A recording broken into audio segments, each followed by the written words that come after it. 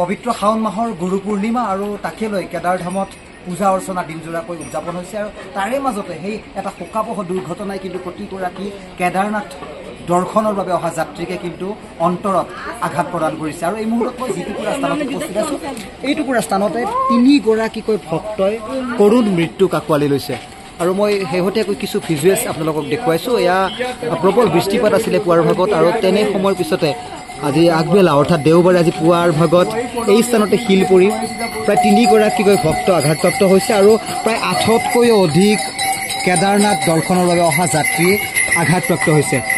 তিনিগৰাকী শোকাবহ নিহত হোৱা ঘটনাৰ পিছতে গোটেই ঘটনাটোক লৈ উত্তৰাখণ্ড চৰকাৰে এই গোটেই বিষয়টোক লৈ তেওঁলোকে সতৰ্কতামূলক জাননী কৰিছে আৰু এই যি স্থানটুকুৰা এই মুহূৰ্তত মই দেখুৱাইছোঁ যে কেইবাটাও পোষ্ট ভাঙি পৰাৰ আমি দৃশ্য দেখিছোঁ য'ত এইদৰে প্ৰকাণ্ড প্ৰকাণ্ড শিল তলত বাগৰি গৈছিল আৰু কেইবাজনো ভক্ত আঘাতপ্ৰাপ্ত হৈছিল। আৰু আজি বিশেষকৈ শাওনৰ গুৰু পূৰ্ণিমা আৰু আজিৰ দিনটোতে কেদাৰনাথ যাত্ৰালৈ অসংখ্য প্ৰায় হাজাৰ হাজাৰ সংখ্যক ভক্তৰ আগমন ঘটিছিল আৰু তেনে সময়তে এই দুৰ্ঘটনাই কিন্তু গোটেই যাত্ৰা পথতে প্ৰতিজন ভক্তক বা দৰ্শনাৰ্থীকে কিন্তু এক প্ৰকাৰ শোকত স্তব্ধমান কৰিছে।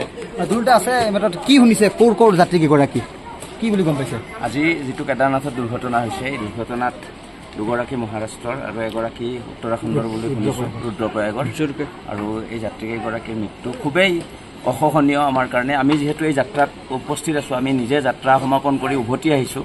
আৰু এই স্থানডোখৰত এতিয়া আমি উপস্থিত হৈছোঁ। আমাৰ খুব বেয়া লাগিছে।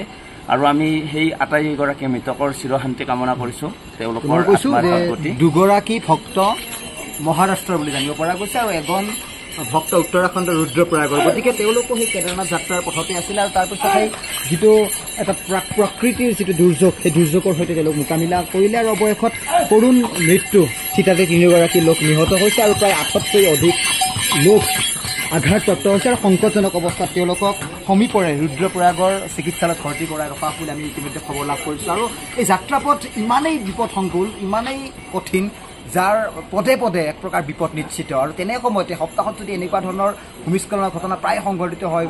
বহু সংখ্যক ভক্ত দৰ্শনাৰ্থীয়ে কৰুণ মৃত্যুক আঁকোৱালি লয়। তাৰ মাজতো কিন্তু কেদাৰনাথ যাত্ৰা স্তব্ধ হৈ পৰা নাই। অসংখ্য ভক্ত দৰ্শনাৰ্থী কিন্তু দৈনিকে প্ৰায় হাজাৰৰ ঘৰত কেদাৰনাথ ধামলৈ তেওঁলোকে যাত্ৰা কৰে আৰু যাত্ৰা পথত আজিৰ দিনত বিশেষকৈ সংঘটিত হোৱা সেই ভয়ংকৰ ঘটনা এই মুহূৰ্তত মই গ্ৰাউণ্ডত থাকি আপোনালোকক জনাবলৈ চেষ্টা কৰিছোঁ।